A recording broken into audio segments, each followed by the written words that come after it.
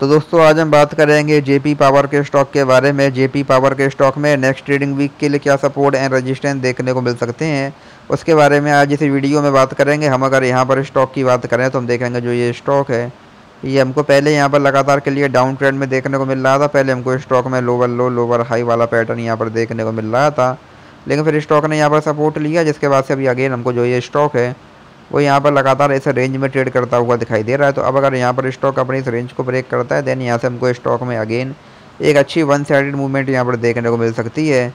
आज हमको यहाँ पर स्टॉक में 3.48 परसेंट की यहाँ पर गिरावट देखने को मिली है। तो यहाँ से अभी हम स्टॉक में बात करें, अगर अब यहाँ से स्टॉक में गिरावट आती है तो यहाँ से गिरावट की कंडीशन में हमारे पास यहाँ पर स्टॉक में 18.72 का पहला यहाँ पर सपोर्ट देखने को मिलेगा।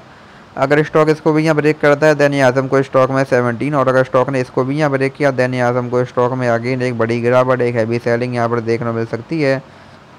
इसके बाद हमको यहाँ पर स्टॉक में फोर्टीन और ट्वेल्व तक के लेवल्स भी यहाँ पर देखने को मिल सकते हैं ऐसे नेक्स्ट यहाँ पर सपोर्ट वही यहाँ से अब अगर स्टॉक में रिकवरी आती है तो यहाँ से रिकवरी की कंडीशन में हमारे पास यहाँ पर स्टॉक में ट्वेंटी वन का पहला यहाँ पर रजिस्टेंस देखने को मिलेगा। अगर स्टॉक ने इसको ब्रेक किया देन से हमको स्टॉक में अगेन एक बड़ी तेज़ी, एक बड़ी बाइंग यहाँ पर देखने को मिल सकती है। इसके बाद हमको यहाँ पर स्टॉक में ट्वेंटी फोर देन से हमको स्टॉक में ट्वेंटी सेवन एंड देन यहाँ से हमको स्टॉक में थर्टी और थर्टी टू थर्टी फाइव तक के लेवल्स भी यहाँ पर देखने को मिल सकते हैं।